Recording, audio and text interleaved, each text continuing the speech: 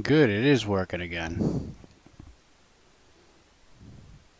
Alright, hello everybody, welcome back. I know it's been probably weeks since I uploaded a video to this channel, but there's been a lot going on.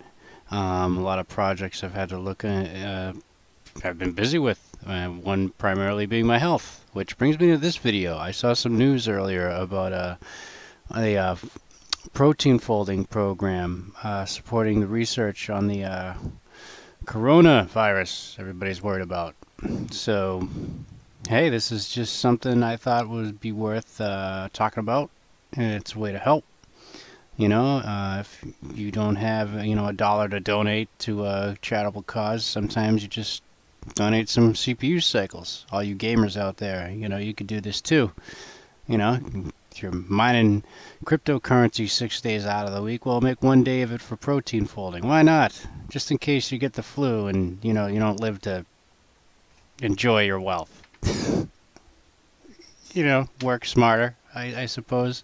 So anyway, uh, here's the little breakdown on the project. And if you click the learn more button, it tells you about the project and, you know, who's behind it and what they'll do with it. And uh, is there another?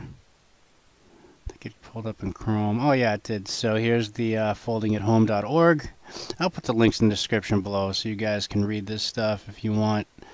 And um, yeah, here's how to get involved in uh, trying to fight virus and disease and all that. Um, and as for any of the game videos, I know I've taken a break for a while, but life happens, and what can I say? I'll try to get back to it. Um, I'll try to get back to uploading more videos on some stuff.